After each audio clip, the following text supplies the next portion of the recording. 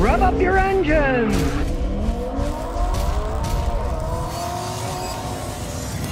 Today I'm going to show you two really interesting tools that you can find very handy in fixing your car and they're not expensive at all. Now I know people say scan tools, scan tools, there's so many of them, what do I do? Well, this is a Launch Elite Toyota. You can see it right there, right? I got it for like $101 on eBay. They go anywhere between 100 and 129 bucks, right? Now, it's only for Toyotas and Lexuses. A lot of people own Toyotas and Lexuses. Yes, I have a $5,000 scan tool that does them all, right? This thing is 100 bucks. That's five grand. This does an awful lot of things. You'll see when I hook it up to this Toyota, it does 280 something different parameters. That's a lot of information for a scan tool in this price. Same as any scan tool, you just find the data port, make sure it's pointed in the right direction, plug it in. Immediately turns itself on, but for better communication, you want to stick the key in, turn on so the idiot lights are on. Doesn't even have a battery. That's one reason they could sell it cheaper.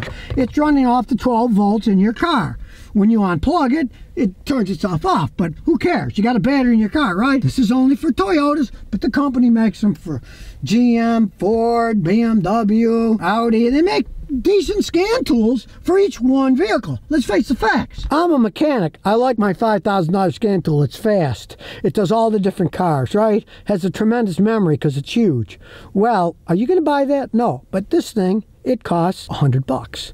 And when you see what it does, you probably think, hey, maybe I'll try one of those. It's all the usual stuff. The diagnostics. Low priced unit, does auto detect. It's going to do a VIN scan. Read the VIN, knows what it is. 2017 Toyota Tacoma. Searching the VIN to get information. And one thing I really like about it is it updates itself automatically. Now, they say, you know, free updates forever. I don't know. Eh, people say that, and then years later it's not free anymore. But as it stands now, it came in the box, he hooked it up to the internet, and even though I'm 100 feet away, it still works and it's just finished updating it for the latest update. Tacoma gasoline 2017. 37,000 kilometers, okay. You'll notice it's relatively slow at getting things done.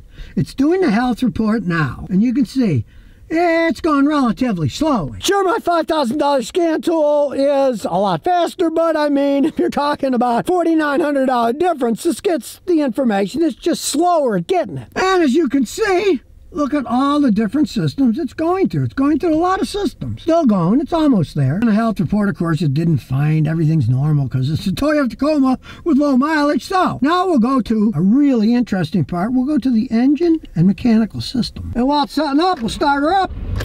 And we're going to look at data stream. You look at the bottom here, there's an interesting thing. See how that says 07 to 85? That means that the seven data stream on the screen are seven out of 285 bits of data stream you can get with this $100 scanner. That is a lot of information. Now, I do have to admit, select them all here. They're all selected. Okay. And it gives you the information. The problem is, it's going to take a while to go from screen to screen because it's a small unit with a slower chip. It's only a hundred bucks. The chip in my machine probably costs five times that just for the chip. Now here's the information. But now watch. When, when you get past these first 24, it's got to load itself. And it's relatively slow. A regular mechanic would say, oh, that just takes too long. I can't stand it. We'll do it again. Now that one was faster. But see, still, it takes a while to reload. Most mechanics, myself included, are going to say that thing's too slow. Give me something that's faster, right? But this is a $100, and it gives you a lot of information. Just have a little patience. We're only talking about, you know, 10, 15 seconds. It's not like it's hours. It's just to a mechanic like me. We're like, oh, man, that thing's too slow. Give me something faster, right?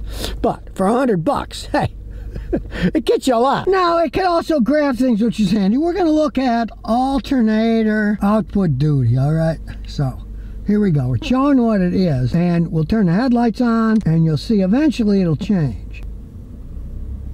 See how it's eventually changing? And then we'll turn it off, and you wait, wait, wait, wait, wait, wait, wait. Now it's going down. You see, there's a real time lag there. But that's because I've got everything chosen. Now, here's what we're going to do. You get everything chosen. It's a slow computer. It's going to take a while to activate and then feedback and give you the information. So there's too much time lag. So what we do is we get out of the graph and we'll unselect them all. So now none of them are selected and we'll go back to the alternator test, alternator, and it's only showing the alternator and nothing else, right? You can see it starting on the bottom there. Now we'll turn the headlights on. See how it went up almost immediately? Then we turn the headlights off. You can see it drop pretty fast. If you want accurate readings, you only pick a few with a tiny machine like this. It'll do it fine, but you can't just have all of them running at once or there's going to be too much of a lag. The information's there, you just have to look at it one or two at a time instead of a fancy machine where you can do 10 things at a time. You know, let's face it, paying a hundred bucks for this thing, right?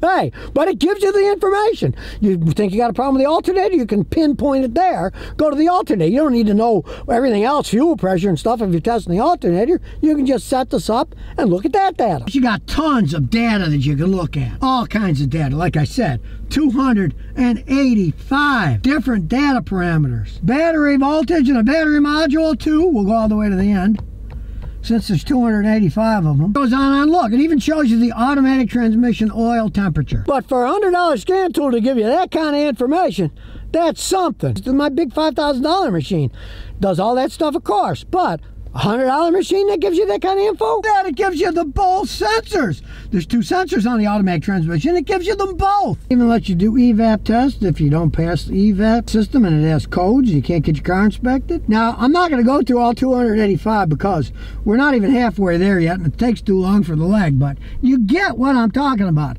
Tons of data. We see it's got a lot of data, but look, it can actually do a lot of actuation tests. Say, you can look at the EVAP system, activate the air pump heater. You can even control the variable valve timing. You can activate the lockup. Look at the stuff that you can do. It's insane. Decide you can even control and shut off fuel injectors if you're testing things. Look, we'll do the number one and we will turn it off. Now you can see it's missing out because it's shutting the number one off. When we turn it off, it goes back to normal running. If you want to learn about cars, fix your own. You can spend a lot of time getting this data to learn how to use it, right? But if it's there if you want to, and for a hundred bucks, I gotta say, it kind of blows me away. You can activate solenoids.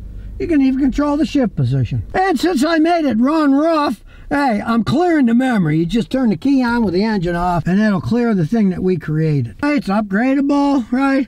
You can change the setting, metric, imperial, you can do a basic OBD2 scan, but since this is a Toyota one, it does enhanced scanning because you're paying for the Toyota, right?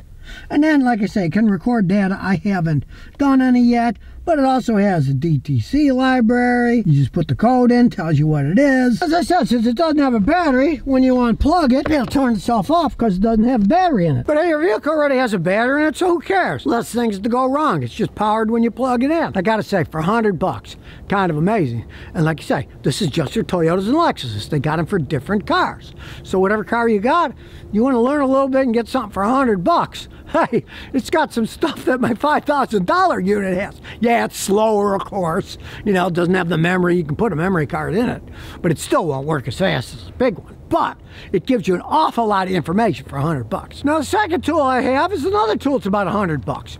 It's called the Amp Hound 2. There was an Amp Hound 1, but Amp Hound 2 is even better. What it does is it can find parasitic drain and it can find electrical problems in your car easily without you having to be an electronic genius. Now, of course, I got thousand dollar meters and stuff for working on electric cars. You gotta know which button means which. You gotta put the right range in, because let's say if you click it on the wrong range and you get a reading you say well that's not bad but then you find out that it's actually 10 times what that says because you clicked it on the wrong reading this is all automated. There's nothing to screw up. Battery's drain. You got a parasitic drain, all right? Just go to the fuse box. I've already taken the top off. How simple this thing is to use, right? You turn it on. Now it's turned on, right? And I'm going to check a 10 amp fuse. So I will go to 10 amp. And it's a mini fuse. You can see you can change it to standard maxi, but these are mini fuses. So it's a 10 amp mini fuse. And we will put each end, positive and negative, doesn't matter which way you go, on the 10 amp fuse here. It beeps and you can see it says zero. That means there's no drain. When it says zero, means there's no drain at all. So you know that circuit doesn't have a drain. Now, I had a video I made years ago on finding battery drain, and you have little charts you got to look at and measure. Forget the charts. This thing does it all itself. Okay, these are the mini fuses. Then there's little, then there's regular size fuses and maxi fuses, and this is set up for them all. Mini, standard, and maxi, right? And all you do is push the button to set it, and that's all you got to check. Now, this is a Toyota Matrix, so it doesn't have any problems. So we're going to turn on the headlights. So now my LED headlights are on, and now that the headlights are on, we'll touch the probes at the top of the fuse here, and you can see it's got a 2.3 amp draw. That shows the power the headlights are using. That's why LED headlights are good. They use less power. It's not much power, 2.3 amps, right? So if I didn't have the headlights turned on and there was a draw, you would know that circuit is what's draining the car. And it's very easy to test. You aren't taking the battery terminals off, you're not interrupting the system because if you take the battery terminals off, modern cars, they'll start idling weird. Some systems have to be reset. You're not touching anything except checking the fuses. And as you can see, all the fuses have little metal dots, one on each side.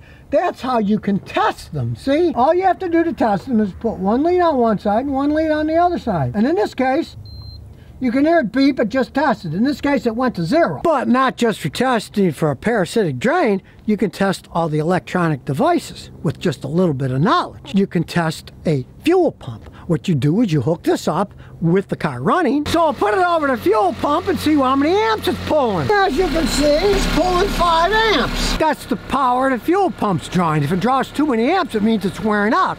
But what does that mean to you? How do you know that? Well, you got a phone. 5.3 amps and 40 PSI. So five versus 5.3, that's negligible. That's almost exactly the same.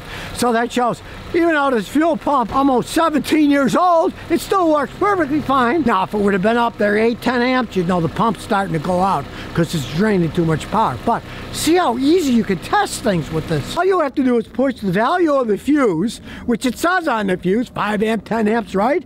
And the type of fuse, which is either mini, micro, standard, or maxi. Most are mini, micro. You get confused, look that up and it'll show you the different sizes. It's all totally automated. And I do have to say, even with my super expensive equipment, this is so much faster and easier. And to top it all off, I don't have to look at any stupid charts like I would with my other meter. I have to transfer, okay, this is this many amps, this size fuse. What does that mean? It's all right here. I got to say, for 100 bucks, this Amp Hound 2. I don't know what Amp Hound 1 was, I never had a 1, but this 2, I gotta say, it's a pretty good machine for finding electrical problems that anybody with a tiny amount of knowledge of electricity can use. And it also fits in this handy case with two zippers on it. Hey, I'm keeping this in my trunk. So now you know a couple of really good $100 tools that can save you a small fortune in car repairs with just a little bit of knowledge. Isn't that what it's about? We're all trying to help each other out here. You don't have to buy $5,000 tool. You do if you're going to reprogram stuff, but you're probably not going to go that far. You want to do some electrical troubleshooting or check engine light checks? Hey, these $100 tools give you a leg up. So if you never want to miss another one of my new car repair videos, remember to ring that bell.